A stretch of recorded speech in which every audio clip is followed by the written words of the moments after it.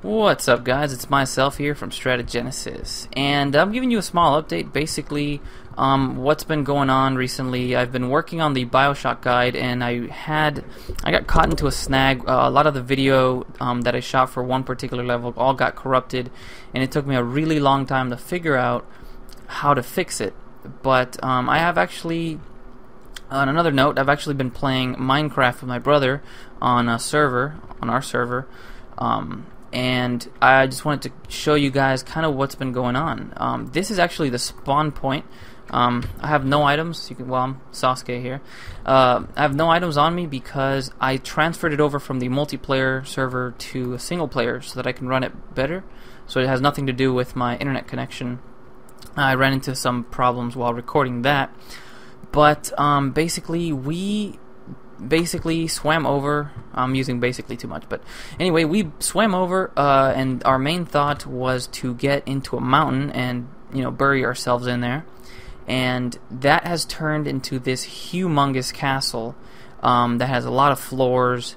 Um, has its own transit system going down to a good mining floor, and it has its own observation tower. Though it's not really, uh, not really much is visible from up there.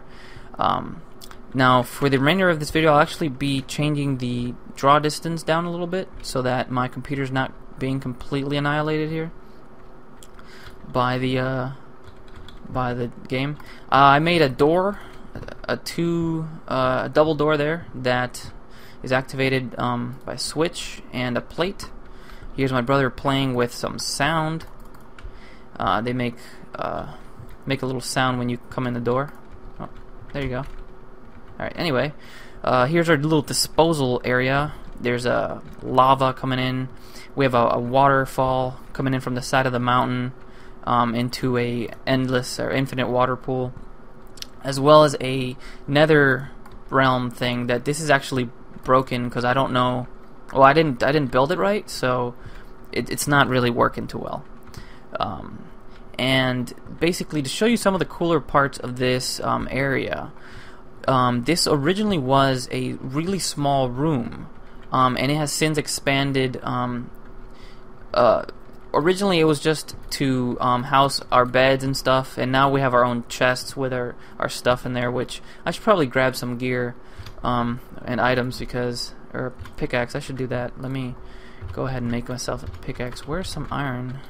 I know we have iron somewhere around here. Here we go. Okay.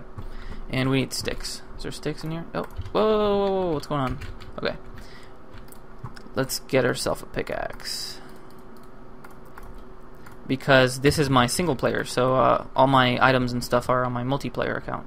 Um, anyway, so this is the transit system over there. We'll check that out in a second. Um, let's go down to this uh, my wheat farm, the production room. So over here we have a manual wheat farm. Um, this houses about 50 to 60 wheats um, per farm, and they're high yield. Uh, or what I would say is like high yield because of the speed at which they um they crop so fast. Uh, basically, the ground is pretty much always hydrated, so you never have to till.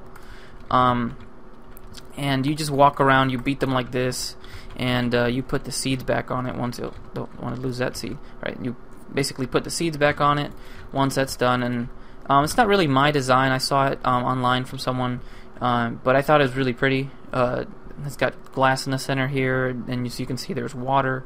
Um, lots of torches on moss stone, which we got from dungeons. And on the other side, we have a wheat factory. And here, this thing is actually running right now um, because I guess one of us pressed the button and forgot to uh, to reset the mechanism. But um, basically, you farm, uh, you you come through here, and you uh, till the land, you plant your seeds, and when they're all grown, they um, uh, you can press the button down there, and the water strips them from the land and actually brings them to that collection point up there. And now for the minecart uh, transit station here. Um, so I have a switch and what this switch does is when I when it's going to the left, both of these tracks will go down to layer 16. So 16 layers from bedrock, from the very bottom bedrock. And so let's do it.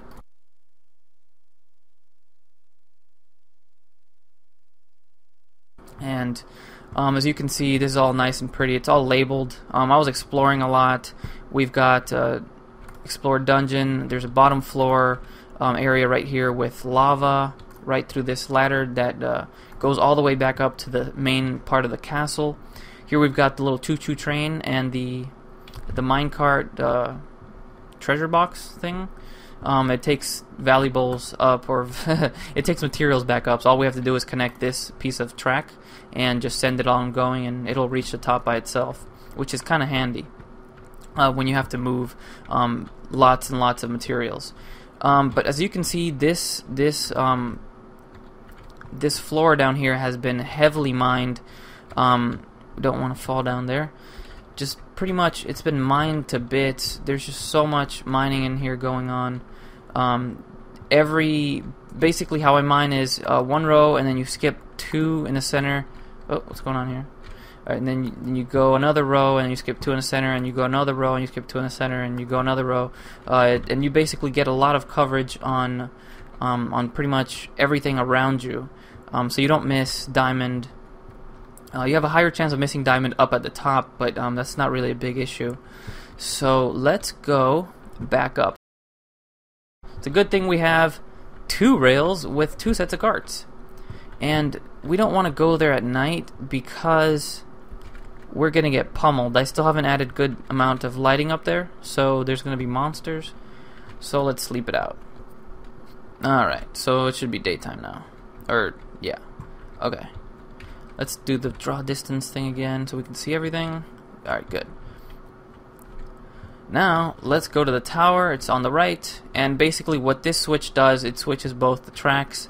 Um, this one will switch to the right, and that one over there will switch left. As you can see, it's uh, broken from going down to the bottom. Um, so we're going to go and take a different track. Let's go up. Just slow the video down at this part. Um, over here, there was a uh, a tree, and as you can see, I carved out a nice little passageway for um, for basically the carts would go through the tree, and there's like a nice little tunnel. But of course, uh, I got ambushed by a creeper, and that's what's left of the ark that I built. Um, so that's not too handy. But here we are, we're at the top. Uh, now that I think about it, this tower is actually not very tall, but that's because we're on top of a mountain. And normally when you build a tower or some sort of lighthouse, it's from the bottom, so yeah. Uh, this little spring down here, that's actually where water to the waterfall's coming. Uh, it just happens to be there. No idea why. So let's go ahead and present this cart here. Um, and let's enter the tower and see if some zombies died here. Uh, that's the hole that we initially dug up from the bottom, or around the tower. This was supposed to be an infinite water pool. Not sure what happened anymore. Um, so let's go up. And we've got some glass flooring, so we can see down. Um, this allows us to stand up here and sort of uh, survey the land though with the draw distance, there's not really much you can see. Um, but you can see the thing I will leave for last, which is a massive construction that was happening underwater, and I might do a tutorial on that. So let's go ahead and skip to the monster spawner. Alright, so we've arrived at the monster spawner. Uh, so it's sort of a time skip here. This is the little station that we've set up. This is the booster car. And this is what takes you to that underwater dome that I'll be showing later. Uh, but I figured I should leave the best for last. And as such, here is the monster spawner. Uh, so basically, um, all you have to do is you stand here. And oh, look at that. Already some gunpowder. Um, you can see there's monsters dying. Uh, if they don't die by the lava up there, um, they die by the water. They drown. Um, this channel is about two deep. Um, if you guys want, I can actually show how to build this. Uh, my version actually, there's a couple of versions of them on YouTube, and I sort of built a hybrid one. Um, so yeah, uh, lots of bones, lots of gunpowder. Uh, it works pretty nicely. Actually, I haven't tested, so I can't give any raw numbers. But if anyone's looking to build one, I am willing to help. Um, so let's go ahead and check out what makes this thing tick. So let's set this thing to peaceful because I am on single player right now.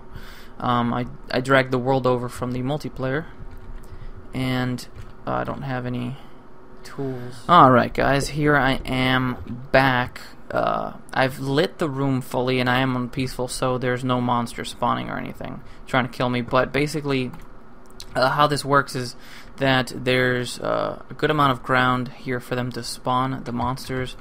And oh let's go ahead and put this as 4 which is um, that's what I'm used to. Alright. Uh, this is where the monsters spawn. They eventually fall into these channels and I should mention these are half blocks. They can actually walk up these half blocks um, and they continue to get dragged down by the current out of their own stupidity I guess. Um, and basically uh, it's three uh, three blocks two blocks of water three blocks for them to spawn two blocks of water. They do not spawn on water. Do not make that mistake that I made when uh, we initially fully flooded this room and we're like aha we're gonna get all the monsters to you know obviously all flow into this into our area and, and that didn't quite work so well because monsters do not spawn on water, or and I don't think they actually spawn on half blocks either. They I think they need to spawn on full blocks. So I haven't actually tested that, but I didn't see any monsters spawning when I had tons of half blocks. Uh, and once we changed them to these um, these uh, full blocks, then we had monster spawning. Uh, it's kind of tricky to get the water flowing um, all like that towards the center, um, but basically this is what it looks like, and this is what you're gonna want um, when when you're uh, trying to blast mine. If you're trying to collect um, gunpowder, this is exactly what you need. Um, and I should mention that this is eight blocks, um, eight blocks away from where it stops, and then there's a drop. So let's see, right there. Oh, it's kind of dark. Let's do that. Oh, okay. One second. There we go. All right. So here's where the water actually stops once I pull that block, you can see water stops here. There's a drop of one level, and there's another eight blocks pushing towards the lava. Um, so let's stop right here because we don't want to die. Um, I put a roof of glass, and basically what what this is supposed to do with the glass roof is that once they're um, at the point where they're facing the lava, they don't jump up and get on top of the lava, which kills the item. So what ends up happening is that their face eats the lava and the item falls um, down there. Uh, the ladders keep it the item from falling into. Uh, oh crap! Oh boy. I'm, I should mention this water is extremely powerful. It's almost like impossible to get out of here. So let's do this. Oh, okay. There we go. All right. Um, then it's too deep after that. We've got cactuses here, and this always kills the spiders. I don't know why, but the spiders like this center area.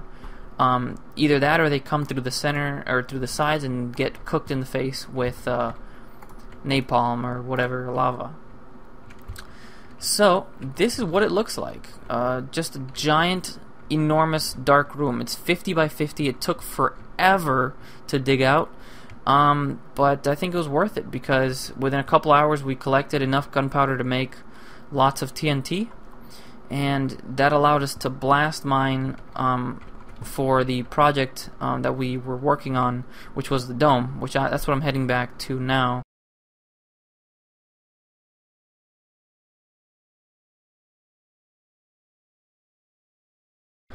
Alright, welcome back to the last part of this video. Um, now, this is the glass dome. This is the construction that has taken for freaking ever. As you can see, we are quite a ways down. I think about anywhere from 10 to 15 blocks down, and this is inside of the water, um, which means we had to get it out.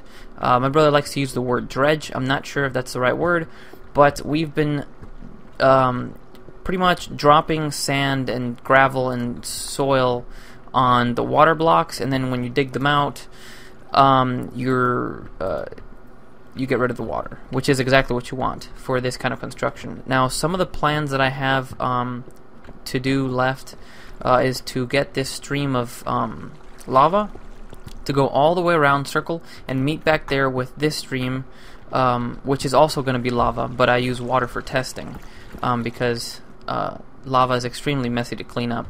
So, um, but that's pretty much it, guys. Uh, thanks for watching. If you made it this far, um, there's definitely be more more Minecraft stuff. Um, so comment, rate, subscribe. I'd really appreciate um, any comments on this whatsoever. But um, any any tutorials or something like that that people would want me to do, I am I will I will gladly do them because I like this game.